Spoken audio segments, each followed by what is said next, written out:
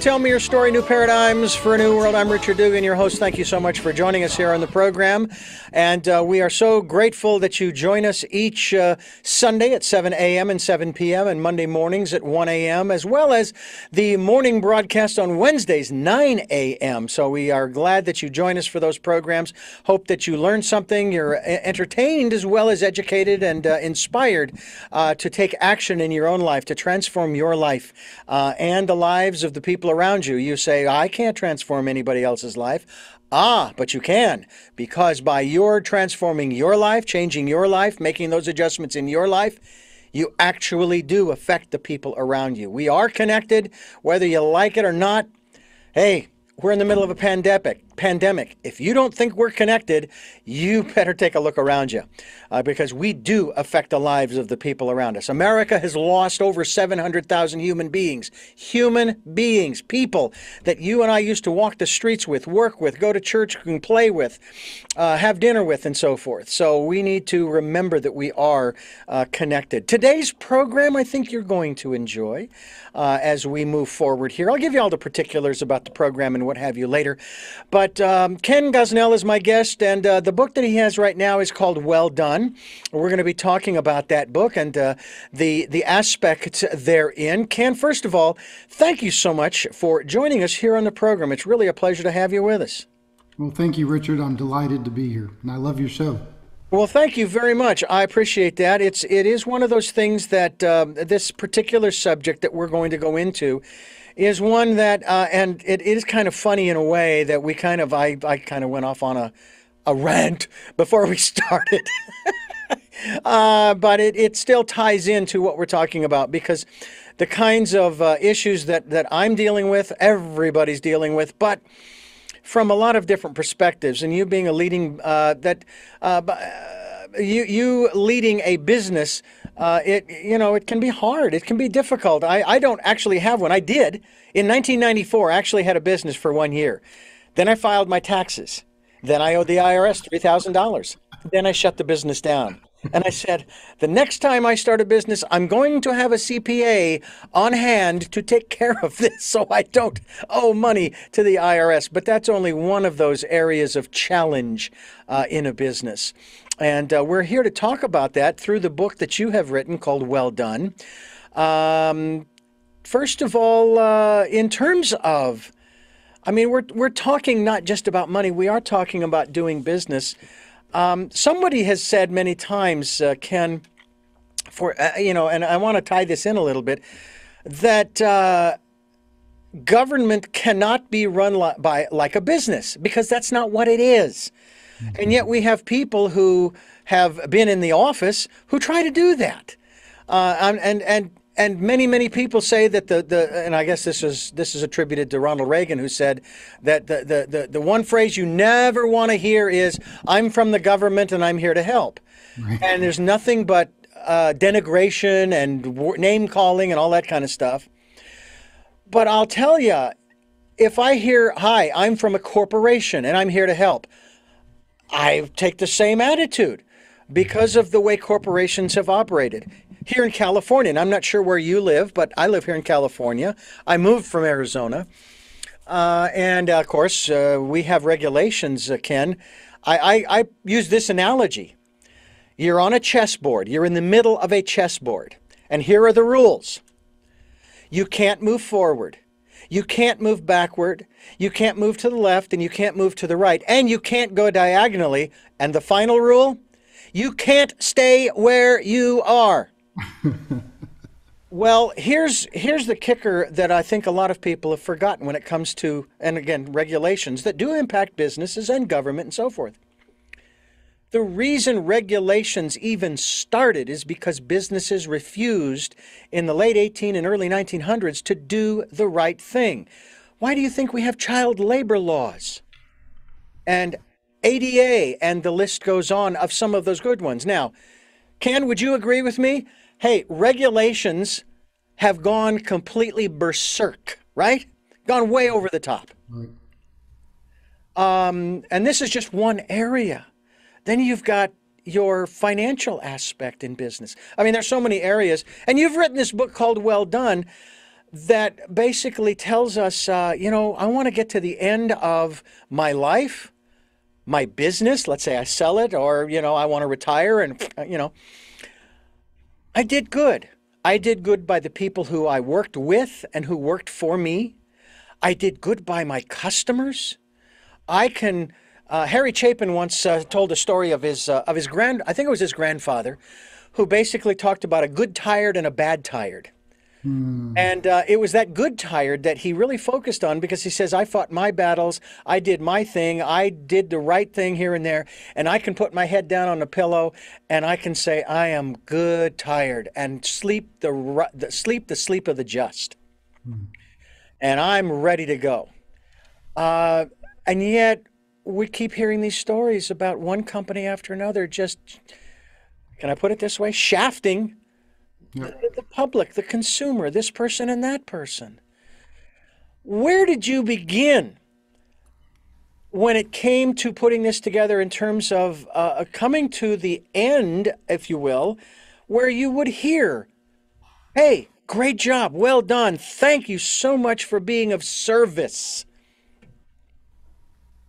Absolutely. Yeah, I wanted to rewrite the script for business, and one of the uh, key indicators that you you were just mentioning was the lack of um, the loss of trust, the lack of belief that a lot of employees, a lot of communities, a lot of individuals have in in corporations and in big business uh, today, and so. Um, what I found was I began to do research and to think about uh, successful businesses, and I meant what I mean by that, we're not just profitable businesses, but businesses that really made a difference in the lives of individuals over the last hundred years. And companies that had showed a track record over a long period of t- time, like a company like J.C. Penney that's been in existence almost 120 20 years. Wow. Um, and what I found was quite interesting because I, I, wanted to look at businesses that were successful over the long haul. And what did it take to be successful, not just for a day, but for a season or, or maybe for multiple seasons, if you will, if you think about, uh, you know, over a hundred years. And one of the principles that I challenge business owners to think about is to have that, what I call four generation uh, thinking, um, hundred year kind of mentality so don't make decisions just based in the short term, but make decisions on the long term. And what I found was that uh, as I looked at the landscape of, of businesses and business leaders, CEOs, and business owners, because the business would often reflect the values or the principles of the leader. And um, what I found was that there were certain principles that begin to, to elevate or to rise. And um, I'm of Christian faith, and so I, I map those principles back to uh, the Bible and God's Word. And I found that some of the best business books, some of the best principles, some of the best businesses were really rooted and grounded in what, what I call biblical business principles. And so I call myself a business Christian today. You know, we can have different philosophies or different ideas. And, and what I mean by that is that somebody that looks at biblical concepts or biblical ideas and how does that apply to, to business decisions. And there's a story in the Bible that my father used to tell me when I was a kid. Now, my father uh, has an interesting story in, in itself. He was the oldest of six children. And in the 1950s, when he was 15 years old, his, his dad was pursuing a dream. They'd moved him out of the city of St. Louis, went to buy a, a farm, and he really that was his father's dream, my grandfather's dream. And but in the meantime, while they tried to get the farm up and running, he went to work a construction crew and um, you know road crew, and they were repairing a road one day, and a drunk driver came through and and actually ran over my grandfather, killed him on the spot. Wow. And so my father went to work at the age of 15, quit high school, went to work, and actually went to a company that's still in existence today, been in a company that's almost 75 years old, um, practice some of these principles. So my father used to teach me this story about well done because come, he learned it in the Bible. There's a story about a, a, a, business owner or a leader that left and had three employees, and he gave some some funds to each of the employees and said, "Hey, go put it to work." And when he came back, uh, a couple of the employees had done really well, and and the leader said, "Well done, good and faithful servant." And that's where this the, this terminology is done. So I look at these principles as values that can really change the landscape of business. And we come back and find some of these uh, key principles that will guide the decisions in every aspect of their of their business. So I've been um, working with companies now for the last 20 years on these principles. We just released the book earlier this year, um, but I've been teaching these principles for a number of years and helping companies to really re- rewrite um, how they do business and and for the CEO how they lead. You know, and, and to me that is so important. I have one. I'm going to consider it to be a crucial question uh, and and you made the, the, I think a very very nice phrase turn of phrase there about how you know we all have our different philosophies, our different beliefs, and so forth. Will this book and the principles that you've outlined, as you've stated, the biblical principles, um, be a, a, something that someone who may not be a believer, a Christian, they can use too? Because there was something that that struck me Back in 2005, I was working for a, a, progressive station, Air America Phoenix. And it was bought by a Christian consortium that also bought the Christian station that I had worked for the, for the previous 15 years. And they told the newspapers in 2005, when asked, Are you going to change the format? And they said, Oh, no, no, no, no, we wouldn't. They're successful, they're making money, and so forth. Uh, and uh, we had made, we had actually broken even. We were the first station, Air America station across the country to break even in nine months. Not a year, nine months. And they said, oh, no, we're not going to change the format. As soon as I heard that, I knew they lied. They lied to the public and to the reporter because I knew enough after working for 15 years at the Christian station. Uh, the one passage that kept coming up for me, and this is sort of where I'm going with this, uh, uh Ken be ye not unequally yoked to non believers. Well, February 28th of uh, 2006 was my last day mm. because they were changing the format. right. Yep. Uh, and I was ready for it. I mean, you know, as, I, you, I could see the writing on the wall when all of this was unfolding because I mm. knew how this this business works. So, and and I, I maybe maybe it's changed. I haven't been involved in the the uh, inner circle, if you will, since 1995. Okay, when I was working in Christian broadcasting from 1980 to 95.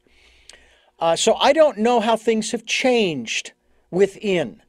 Um, I would hope that they've they've shifted a little to say, look, our principles, they're great for us, but you know we can even go back to uh, to Jesus. He didn't come here for the pure, for the clean, for the saints. He came here for the quote unquote sinners.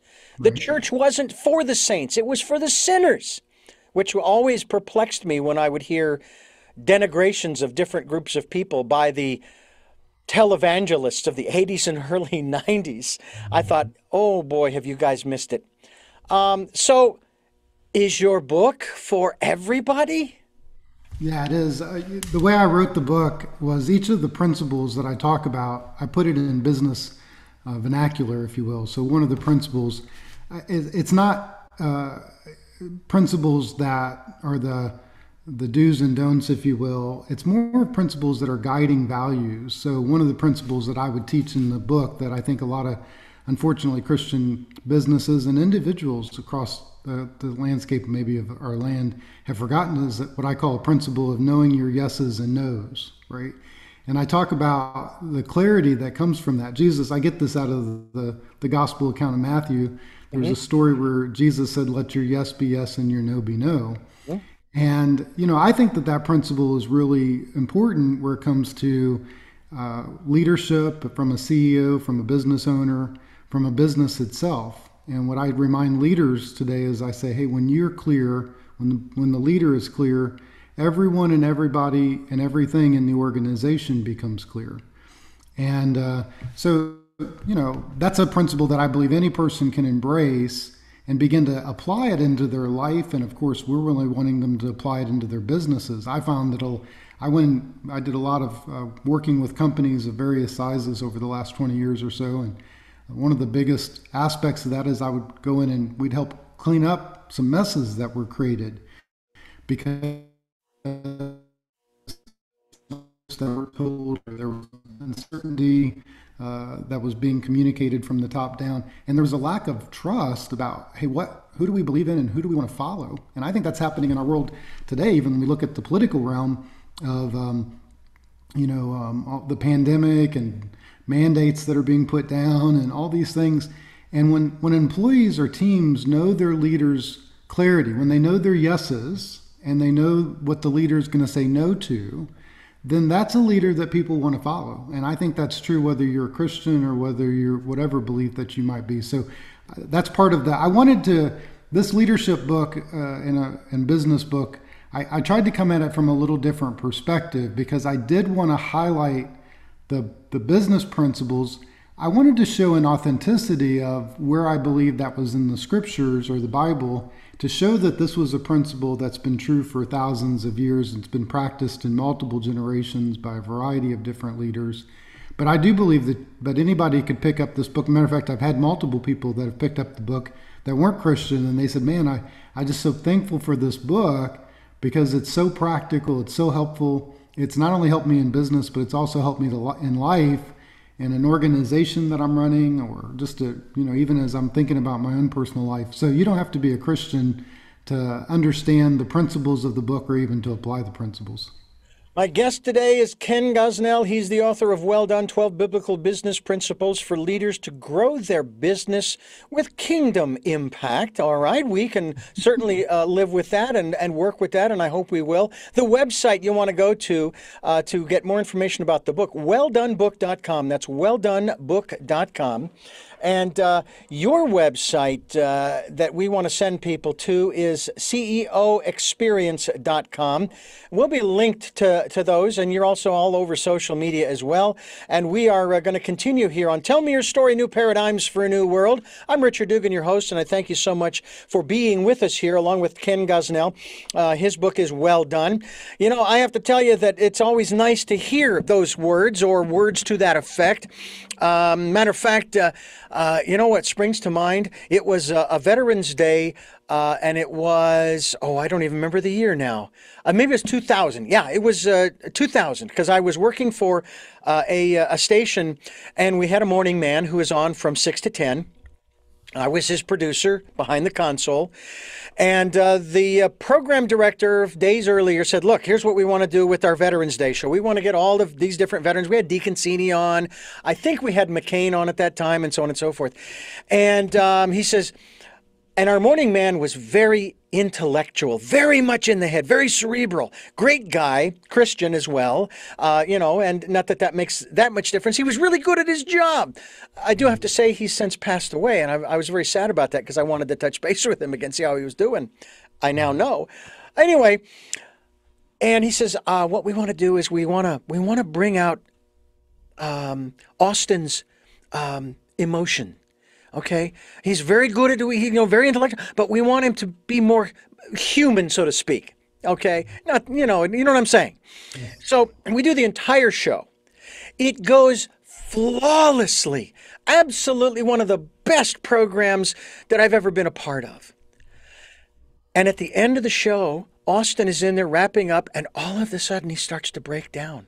Mm. And I'm going, we didn't want to make him, I mean, I'm just saying to myself, we didn't want to make him cry, you know. Well, my boss, the program director, walks into the control room, walks right in front of me and the glass where I can see Austin, puts out his hand, stretches out his hand, shakes my hand, and says, Four stars. Mm. And shook my hand. And I have, I actually recorded that whole four hours. I've got it at home on a disc.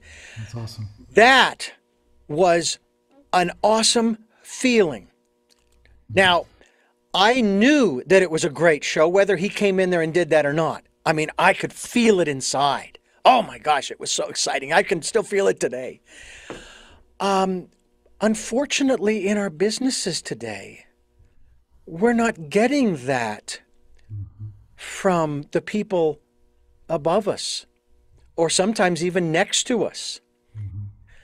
And I have to tell you very honestly, and you would probably agree with me from your personal experience, I wouldn't be here talking with you right now, Ken, if it weren't for literally thousands of people who have been involved in my life and my career for the past 40 plus years, let alone my parents for the last 61 years.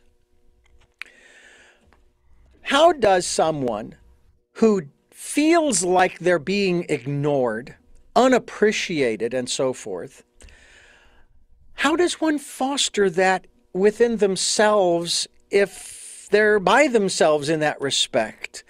Because you know as well as I do that what can really set in is this feeling of, well, they don't pay me enough and they don't this and that. So I, will take the stapler and then I'll take this. Motorola back in uh, 85, I heard the news story, laid off a thousand people because they found uh, uh, after a, a, a uh, an audit, a million dollars worth of materials had been pilfered.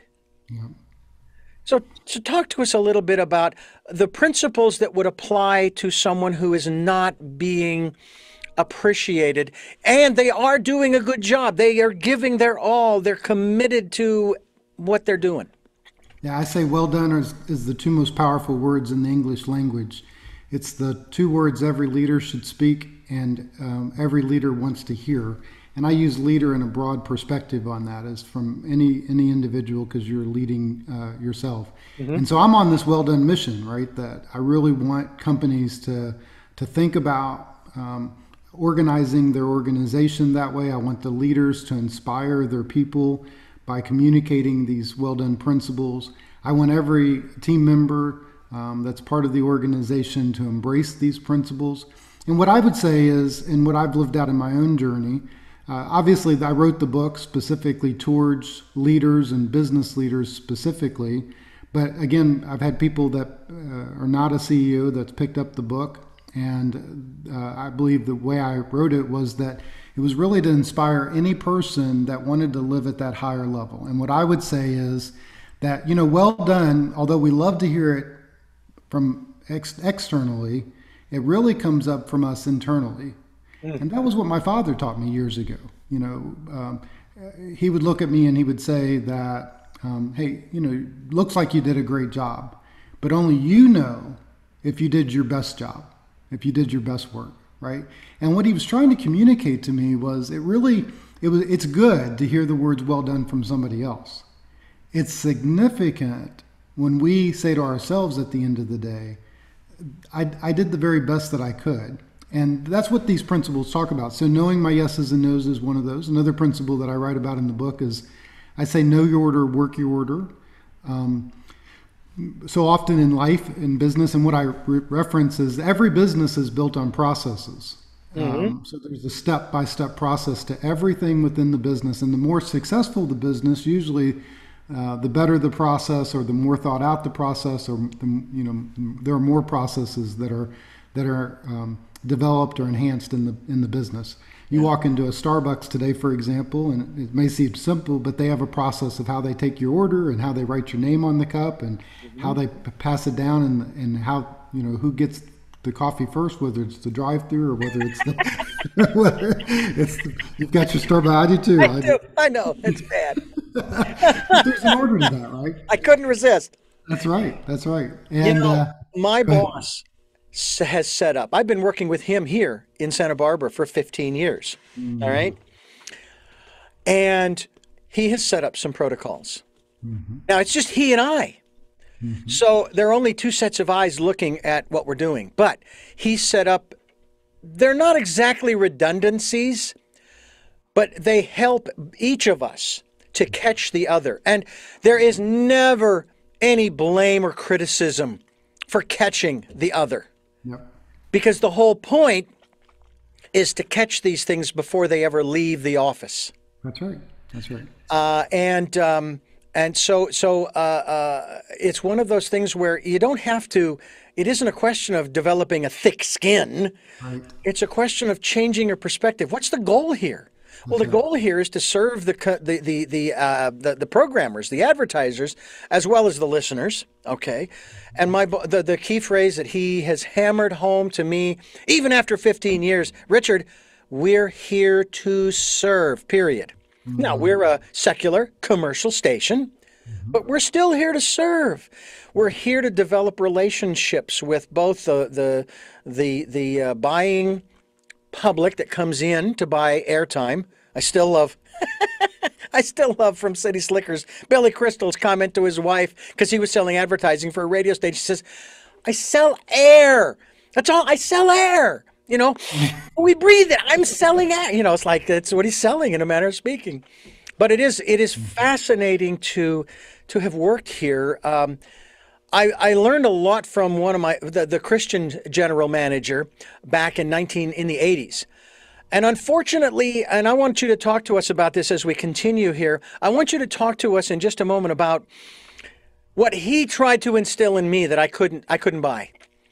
The law of diminishing returns. Don't put out any more than you expect to get back. And expect to talk about that as we continue here on Tell Me Your Story. Ken Goslin, uh, Gosnell is my guest. His book is Well Done 12 Biblical Business Principles for Leaders to Grow Their Business with Kingdom Impact. And uh, let me ask you folks a question before we uh, get to my question to Ken about the law of diminishing returns. Do you feel stuck and alone because you feel like you have to be on the one that does everything for your business? I can raise my hand and say, sometimes I do, and I do do a lot of stuff around here that three people should be doing, but it's okay. I've managed to set up uh, protocols. Ever wish you could spend one full day with either entrepreneurs, CEOs, other entrepreneurs, CEOs, business owners, leaders, um, leading their business, uh, leading their best ideas. Uh, actually learning their best ideas so that you don't have to recreate the wheel on everything in in the business? Well, we're going to find out more about that as we continue here on Tell Me Your Story New Paradigms for a New World. I am here with Ken Gosnell, author of Well, well Done. Boy, I tell you what, we, we do need to hear that. And let me just say, Ken, sincerely well done on the book because and on on your your attitude your perspective because of what I said at the at the outset of this program and, and my experiences back in the 80s, early 90s, that you have a genuine concern and a genuine heart for the people. The people. It doesn't matter what they believe, mm-hmm. what their political affiliation is, what their economic status is. It doesn't matter where they live and so on and so forth. You're just trying to help. You're trying, and, and in your way, you're serving. Talk to us about the law of diminishing returns that my boss back in the 80s, early 90s tried to instill in me, and I just couldn't buy it. Well, I think it's right. I mean, law of diminishing returns is a, is a business concept or idea that if we give too much effort to a particular area, we're not seeing our, best and highest value uh, that's given to that. I would change the paradigm on that a little bit. And one of the principles that I, I, write about in chapter four of the book is what I say make the move from owner to overseer. And the idea, and I'm specifically writing to business owners, but I think it's true of any person. The Bible speaks a lot about the idea of servant leadership, and I like to use the term steward leadership. Thank you. Stewardship to me means that I'm given a task or a portion of a task for a period of time. And most likely, you know, we talked about businesses being in existence for 100 years, right? So, most likely a business or a task may outlive me, meaning that I may work on it for a little while and then I'm going to hand it off to somebody else. That's that's what I call stewardship. I I see who's done work before me and I build on that work and I build it in such a way that I can hand it off to somebody else.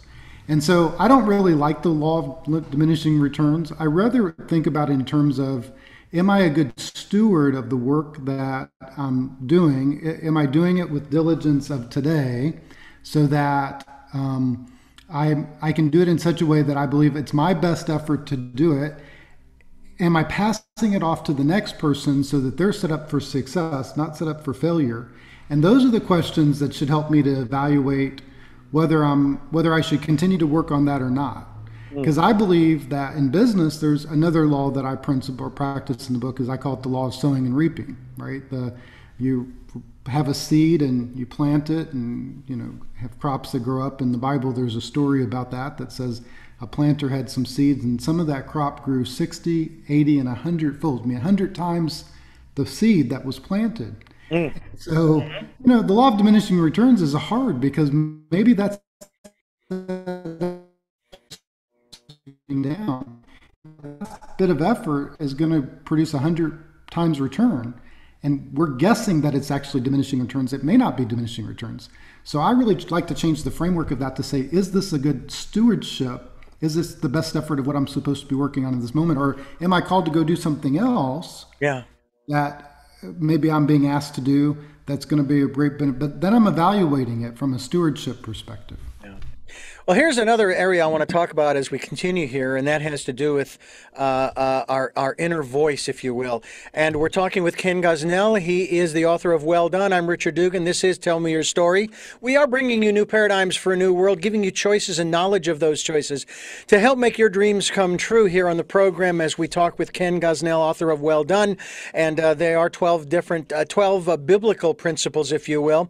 And although the phrase well done has a noble connotation to it, Many business leaders, including Ken Gosnell, our guest here on the program, have a difficult time describing and defining what those words look like in the lives of a business that is led by a person of faith. In Well Done, our guest uh, uh, create, takes and describes the 12 biblical uh, business principles that can help any leader to uh, desire who desires to grow their business and the kingdom impact and its kingdom impact. And these principles uh, help to create a strategic roadmap for leaders to hear the words, well done, at the end of their journey. And every leader deserves to hear the words, well done. I would say they deserve to hear those words, Ken, only if they've actually done well. Uh, I, I think of some of the stories through history and, and recent history, the last 150 or so years, I think about people like J.P. Morgan and Tesla and the story. I don't know if it's true or not, but the story that um, because J.P. had so much money invested in copper, there was no way he was going to let Tesla succeed uh, in his endeavors um, to be able to get electricity right out of the air. I mean, his machine just basically, you know, took to and and see that's the other thing too is science has proven that everything is energy. Everything is energy, every molecule. Our bodies will decay, but the energy that holds those uh, subatomic particles together, it's not going away. It's just going to reconfigure those molecules uh, down the road into something else, and maybe a tree, some grass. Uh, we, we just don't know. Anyway, uh, so uh, we're kind of talking about that. But I would like to talk about something we talk about regularly on this program, Ken. We talk about the decade of perfect vision, the 2020s. Mm-hmm. We are encouraging people to go within into that quiet, peaceful, calm space. Some might refer to it as their closet. Okay, you talk about uh, praying in secret in private. Okay, and listening to that still small voice.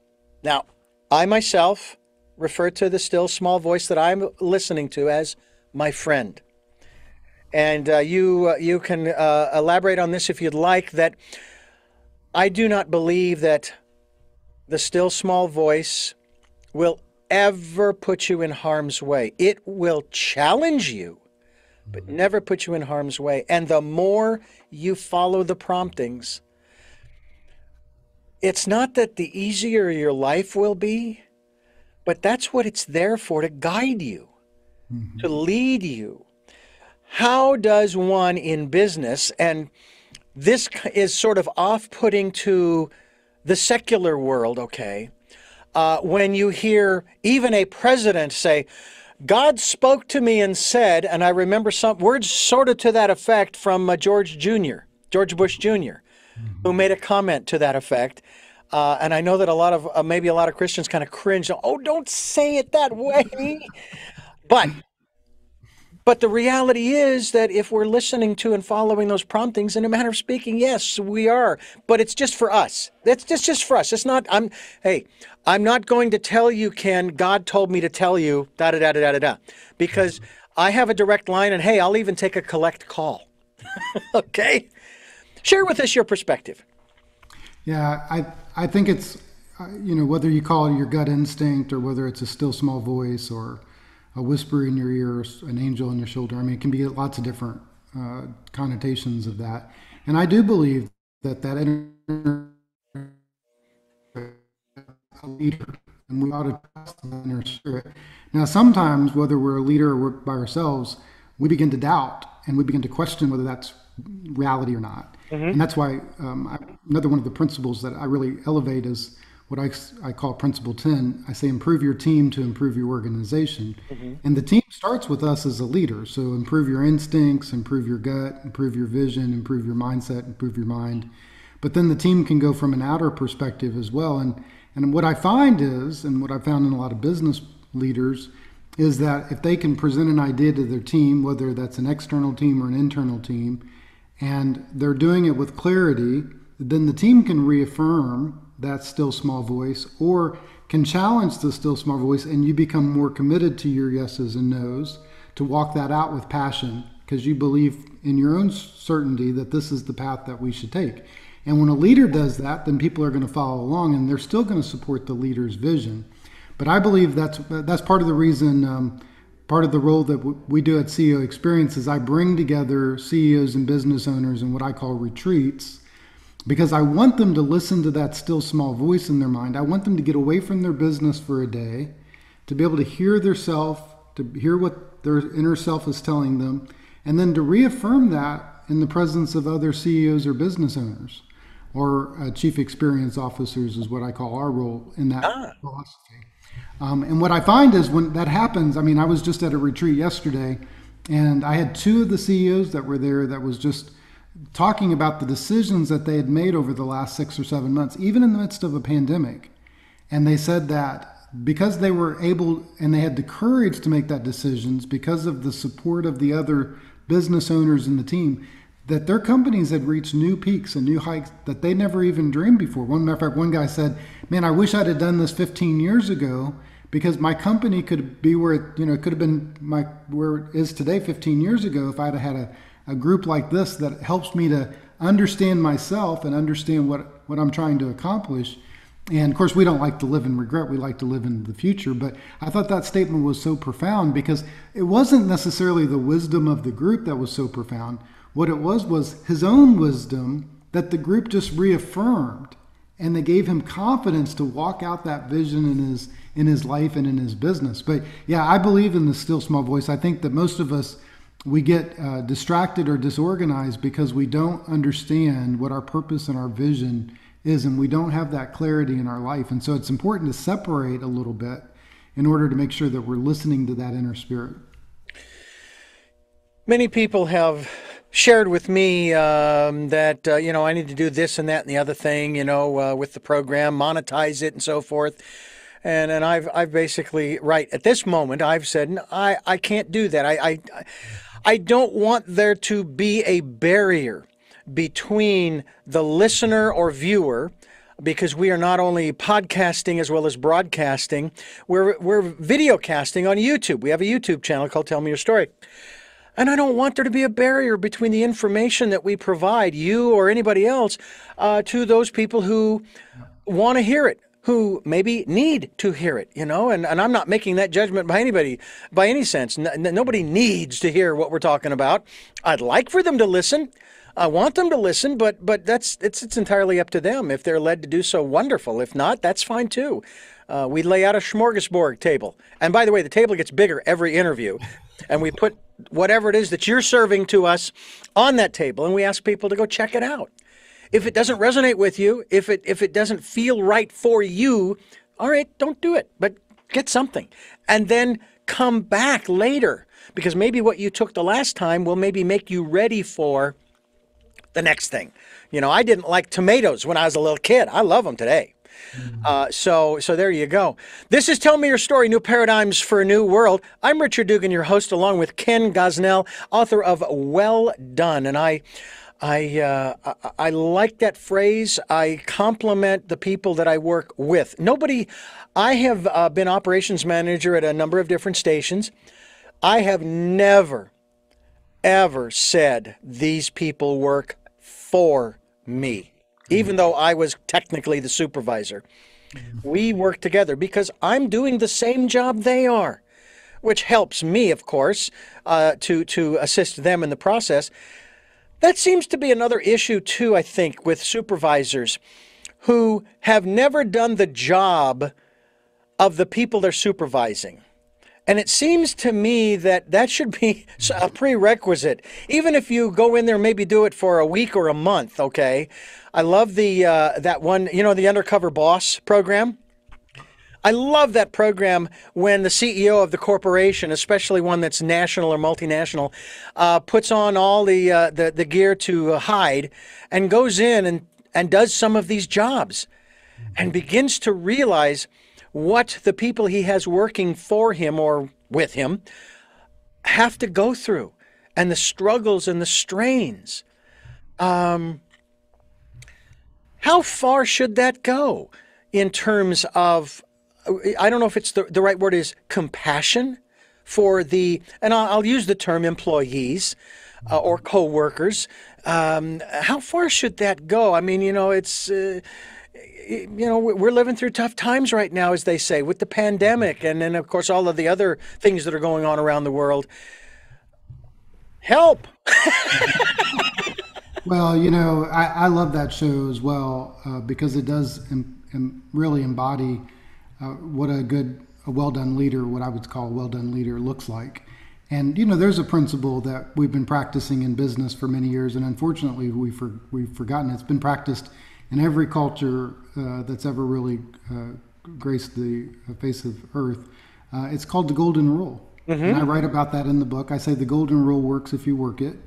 And basically, the Golden Rule says that we should treat other people like we'd want to be treated. Mm-hmm. And I think to your point about business leaders and business owners, it's hard to know how to treat our employees if we've never walked in their shoes. We've never done their job. We've yeah. never we've never understood the pressure or the tension that they have to deal with and that's what that show uh, undercover boss really illustrates that when when the business owner is putting himself in the shoe and, and acting in that role now he knows how to treat that individual. And a matter of fact, I encourage business owners uh, to do that, not necessarily undercover, but say, um, you know, you ought to, you know, every, everybody takes vacation and in, in, in, work, or you should, you know, try to encourage that. I say, go sit in your uh, somebody else's seat for a week while they're while they're on vacation. You're, if yeah. you're if you own a manufacturing company, go go work in the back for a week, and, yeah. and you know, be that. If you're if you have a administrative assistant that takes a vacation, you answer the calls for a week and act like you know you're the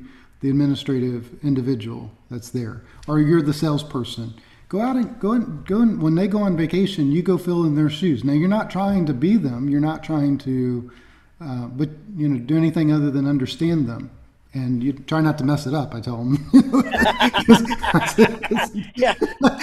what you, you, see, have to, you have to fix as the supervisor. right. but it's the whole part of understanding, and we've missed this so much in our culture today, or we've missed this so much in our. We, we don't we don't consider other people. We don't treat others like we want to be treated, and, and I probably that's my biggest. I am on social media a lot, um, and I, I look at social media as an opportunity to to communicate well done and to share ideas that empower, right? Yeah. It's not a place that we have to tear down others or, oh. or make them feel bad. And I mean, I'm all about having real hard conversations and let's wrestle with difficult moments, right? Mm-hmm. And let's have two different sides. And I believe the diversity makes us stronger. But I don't think we have to be, um, you know, I think the golden rule, uh, I come back to the golden rule works if you work it, can treat other people like you would want to be treated. Yeah. And that means understanding who they are and, and responding them with respect and value. Yeah. Uh, one thing I, I, would like to touch upon a universal principle that I have uh, kind of brought about from those days back in the 80s and 90s that I want to share with you and talk to you about as we continue here on Tell Me Your Story New Paradigms for a New World. I'm Richard Dugan, and I hope that you will join us both on the broadcast, the podcast, and the video cast. YouTube is the video cast, uh, SoundCloud, iTunes, TuneIn Radio, Spotify, Stitcher Player, FM, Blubrry, iHeartRadio and Amazon and many other locations across the uh, depth and breadth and width of the internet. I don't know where it begins or ends, but there it is. And then, of course, the broadcast right here on this station, 7 a.m. and 7 p.m. on Sundays, 1 a.m. Monday mornings, and 9 a.m. Wednesday mornings. We hope that you'll do that. And if you can support the broadcast and what we're doing here, we would greatly appreciate that. Any amount is welcome through PayPal. It's there for your security as well as ours. And uh, when you go there to send, they're going to ask you for the email address of the one receiving. And that email address is richard at richarddugan.com. So hope that you will take a uh, take advantage of that and join us in uh, the work that we are doing here. Ken Gosnell is my guest, and we are talking about Well Done, his latest work. Ken Gosnell is uh, with us, and I wanted to uh, share with you a principle. Uh, I, I call it a universal law. Now, it is actually tied into what you quoted earlier about reaping and sowing. The universal law, as I phrase it, is there is always, always, always an exchange. No exception. You can, and, and I know I've heard this phrase before you cannot outgive God. Well, that is true, but then again, I'm not trying to outgive God. Uh, what I'm trying to do is understand how I can get compensation for the work I've put in. But then of course I look at it from this standpoint. You know how people they'll they'll give uh, financial contributions, uh, tax deductibles in order to reduce their tax liability. And that's the reason why they do it. Not because they really care about the charity, but because they want to minimize their taxes.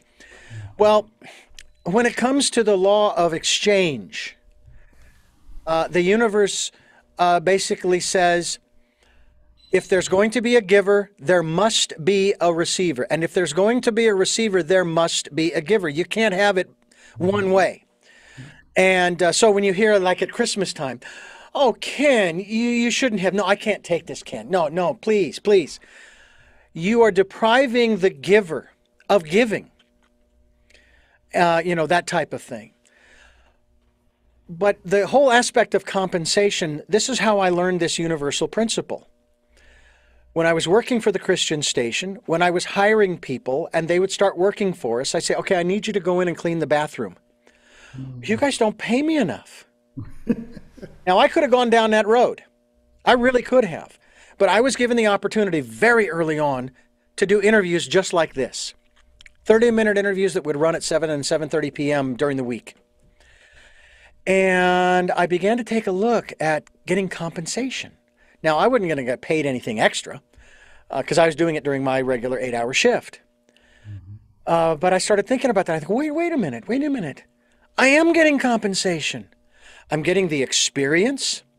I'm getting the contact and the relationship. I am getting the materials, whether a CD or a book or whatever it is. Um, I'm getting a lot more than they could ever pay me for, for the experience that I'm getting.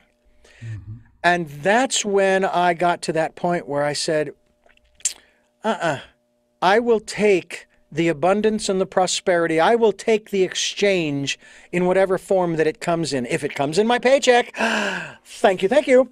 If it doesn't, thank you, thank you.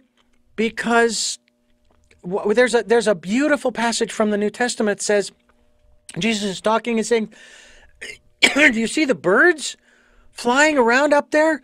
They don't work, they don't toil, and yet they are cared for. How much more will your Father care for you?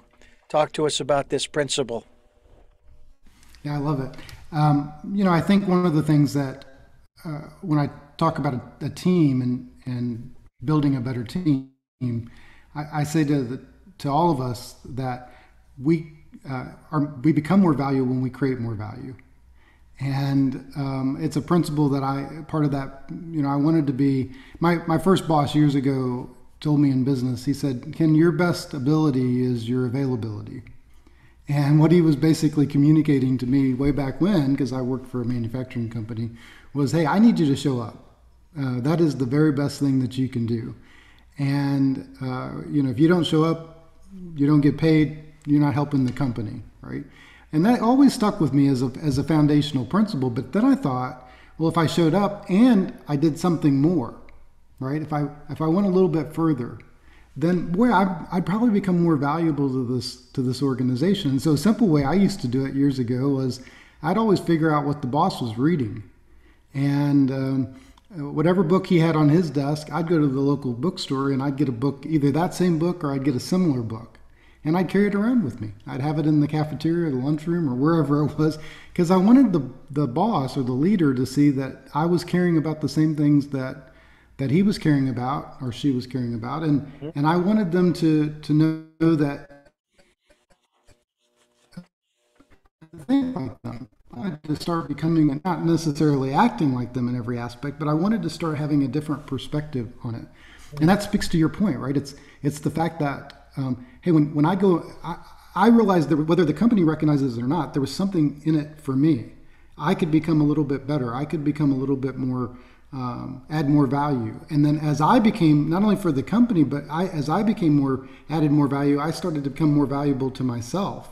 And I think that's the that's the point that you're really driving about. And I think that's right right now.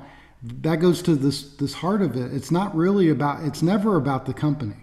It's never about the leader. And unfortunately, there's been a lot of bad companies, and there's been a lot of bad leadership, and there's been a lot of people that have done terrible, terrible things to employees or team members, and and I hate when I see that because I I, I believe that they miss their, it becomes very short-sighted about the business. But I would challenge all of us that it's never about those things anyway. We all have a company of one, right, which is ourselves. We're all, you know, Ken Inc. or, or Richard Inc. or Bob Inc. or Tom Inc. or Sue Inc. or whoever it is.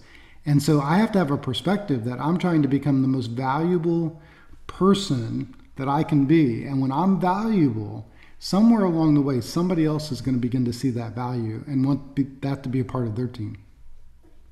I tell you, it's it's uh, wonderful to hear uh, the words you're speaking, and uh, I hope that they go to the right ears. Uh, it's it's something that um, you know I think that we are all faced with from time to time in our lives, uh, whether we realize it sometimes or not. Uh, and sometimes it's dealing with corporations who have people that are working who didn't make the rules. And this is one of the things that I, I've really worked hard. Sometimes it's, e- it's easy, sometimes not so much. When I get on the phone with the people at customer service, why are you yelling at them, people? They didn't make the rules. They didn't set up the protocols, the guidelines, the restrictions, this or that or the other. They're just there. And boy, they have to put up with a lot. And you wouldn't like them calling you.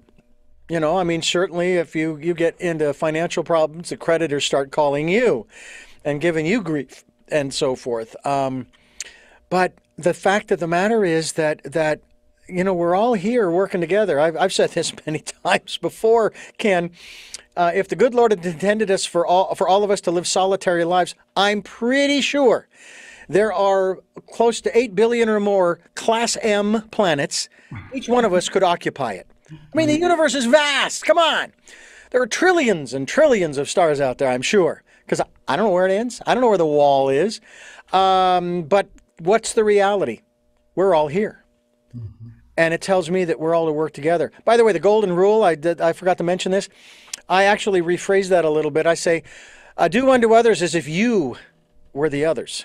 Mm. Um, although I'm not sure how well that would work if you don't feel real good about yourself, if you don't love yourself in that respect, that you would uh, you would be harmful to yourself. Well, then that's a whole other story. Uh, but I think there's something uh, there's something to be said for that. I would actually like to address that just a little bit, if if we can, as we continue here on Tell Me Your Story: New Paradigms for a New World. I'm Richard Dugan, your host, and I thank you for staying with us, along with Ken Gosnell, author of Well Done. I almost said well-being, but there's just a part of that too, and that's what we want to talk about: uh, well-being. There's a a passage in the New Testament, uh, uh, be perfect, even as your Father in heaven is perfect. And I ponder that. What does that mean?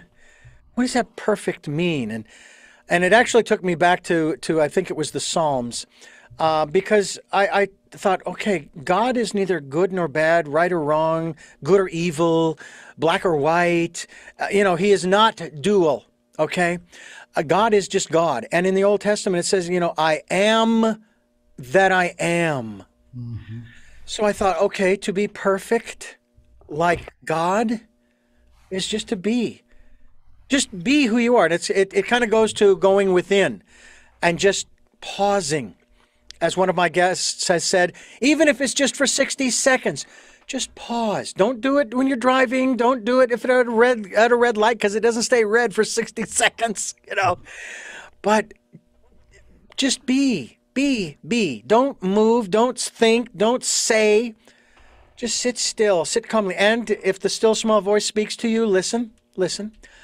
Let's talk to let's talk about that in terms of our own uh, self worth. Self worth. I don't want to belabor this point, but one other aspect to this is this: if God the Father saw no value in you or I as His children, He never would have set up the sacrifice. Right?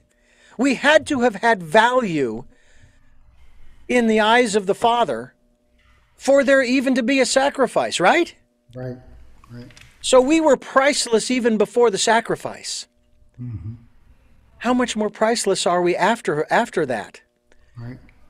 By the same token, our egos do tend to get in the way and we start thinking a little haughty. I have to be thankful to the universe for giving me my comeuppance when I get a little bit too uppity from my, from my britches.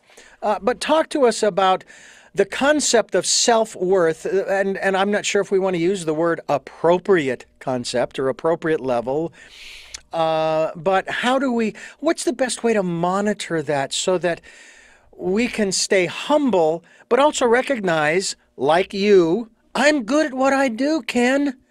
And that's okay to say right? Ken? Yeah, I think um, I, I like to think in that terms of being perfect like our Father is being authentic Okay. and being being totally transparent. And you know, God was there was a oneness about God. I am who I am.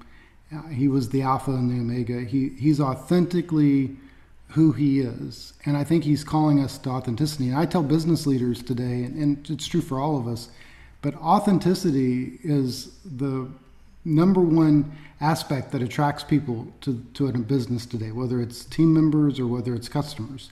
They want to go be with a company that is very authentic in who they are.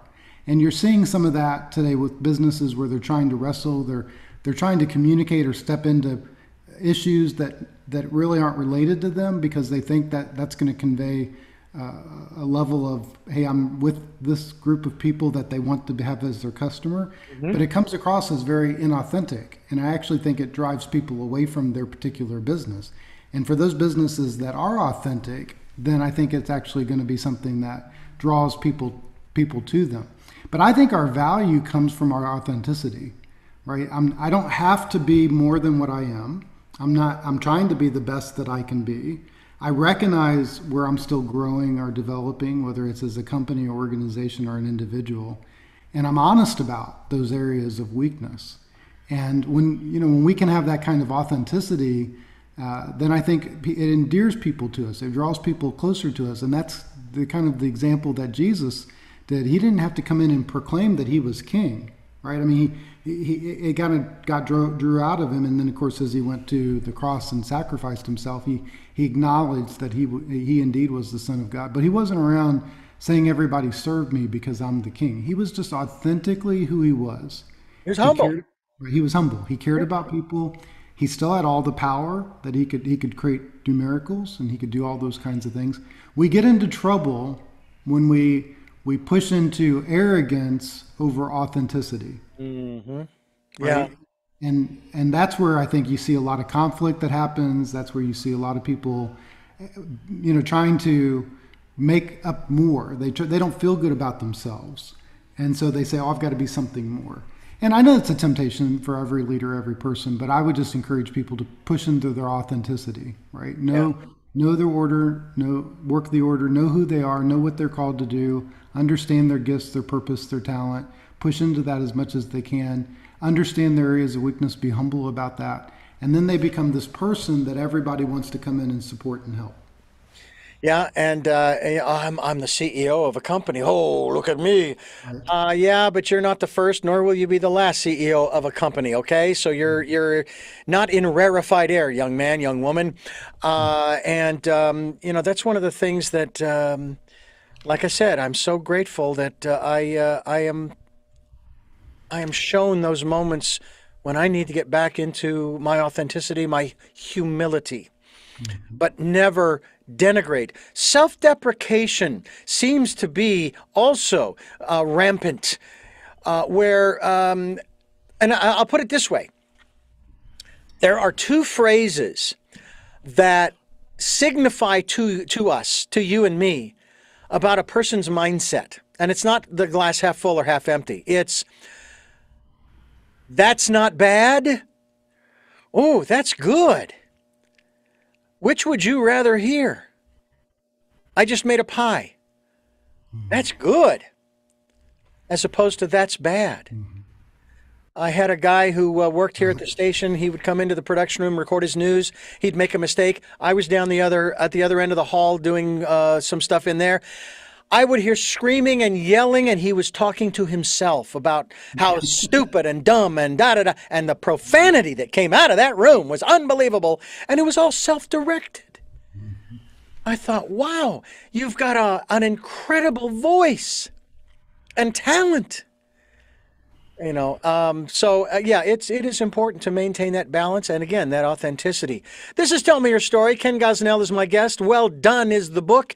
Welldonebook.com is the website. We will be linked and we hope that you will click on that link when you go to soundcloud or any of the other uh, locations uh, whether it be the uh, the podcast or the video cast and we hope that you will stay tuned to tell me your story. I'm richard dugan your host and ken gosnell is my guest Ken, uh, before we wrap things up, and uh, I hate to bring this to an end because there's just so much more I would like to talk to you about.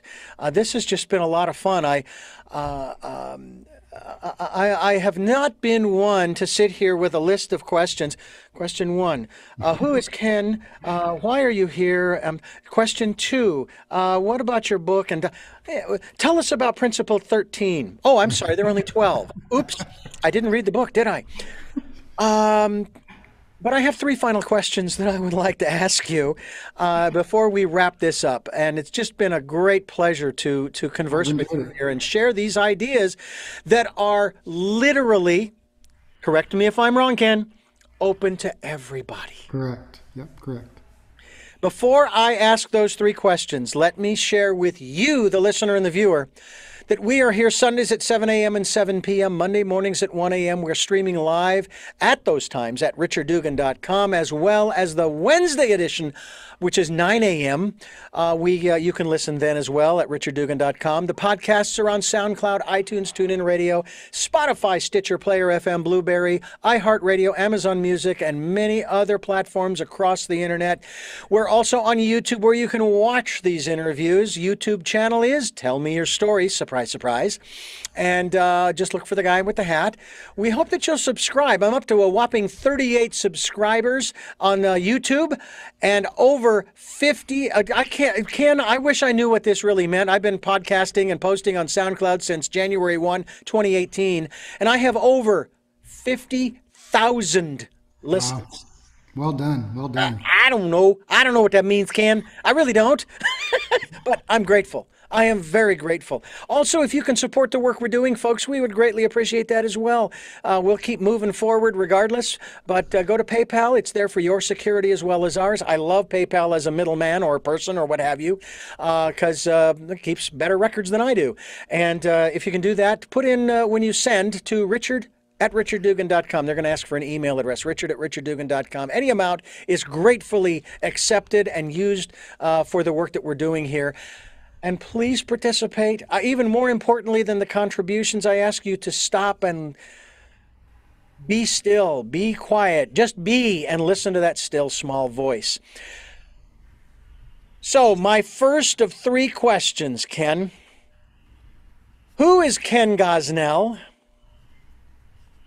Oh, I love it. Hey, I was going to tell you, well done on your hat, by the way. I love it. I need, I need something like that in my wardrobe so I can. Uh... I, I, I need to get a new one. This one's dirty.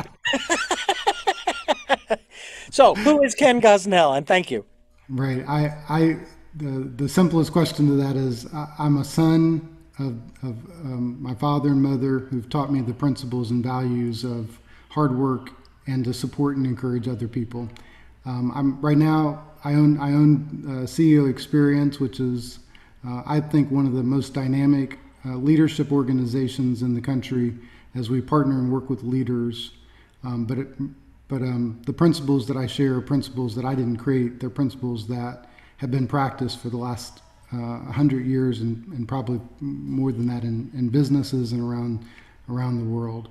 But um, the thing that I hope more than anything uh, that people remember is that I just cared about other people and I really wanted them to, to reach their peak performance. And that's what I say. One of the goals that I have is to learn something new every day. And so I'm a learner. Second question What is it that you hope to or want to achieve through the work that you're doing now? Yeah, we want to start a well done movement. I want those words to be spoken in, in our culture, in every business across uh, the country, across the country. I want every employee to hear it. I want every leader to say it. Um, I want every leader to hear it. And ultimately, we want the, the goal, the kingdom impact aspect is when we die and get to heaven, that we hear these words from our Maker, that He says, Well done, good and faithful servant. What you did in your life was significant, was important, what I called you to do, and then enter into your Master's happiness for eternity. And finally, what is your life's purpose? Yeah, my life's purpose is to change the world. I want to help um, and, and do that through Kingdom Impact. I want to inspire leaders all around the world to be at their very best and to be a leader that other people want to be like. And that is why we are here with Tell Me Your Story too. We want to change the world as well, and we we join hands with you, uh, Ken Ken Gosnell, to to do that, and uh, and we can make it happen. We can. Uh, you know, and again, I also preface that by saying that doesn't mean that where we are is awful, terrible, icky. We got to get out of here. No, no, no, no, no. It just means there's always room for improvement. That's right. Ken, thank you so much. This has been fabulous. Thank you, Richard. I appreciate it. Keep up the great work. Thank well you. done. I, I'm Richard Dugan, and I thank you for listening to and uh, watching. Tell me your story, New Paradigms for a New World. We are giving you choices and knowledge of those choices to help make your dreams come true. And until our next broadcast, podcast, videocast, love to lol.